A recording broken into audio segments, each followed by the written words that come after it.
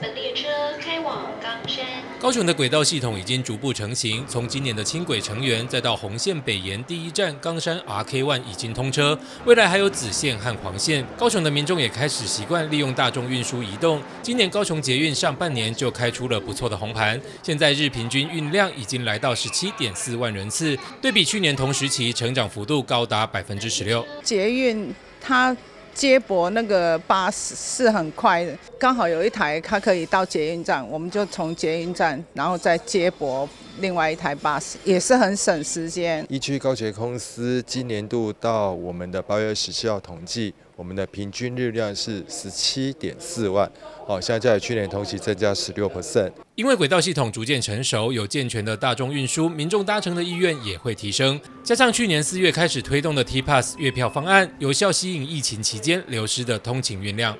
好，那我们进一步来分析运量提升的原因，主要三个原因。第一个，在我们的 T Pass 的政策的受惠；第二个部分，在我们路网的延伸，其中包括我们的轻轨成员以及我们的冈山车站的通车；第三个部分，也特别感谢市政府在我们的沿线举办许多的活动，让大家更方便搭乘捷运或轻轨来到我们的活动的现场。鼓励民众搭乘公共运输，高雄市率先于去年四月推出 T Pass 月票。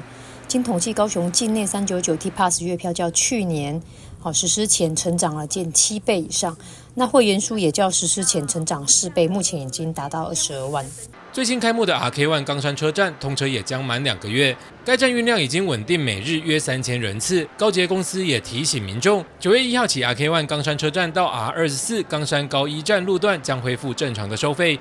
那此外，高捷公司为了提升运量，我们自己也会来举办各式有感的聚众活动，哦，然后也欢迎我们的民众搭乘捷运到我们的车站来参加各类的活动。那此外也提醒大家，在我们的高山车站至九月一号要恢复正常的收费。未来高雄的大众路网也会更加全面，鼓励民众可以多多搭乘。记者苏汉军高雄报道。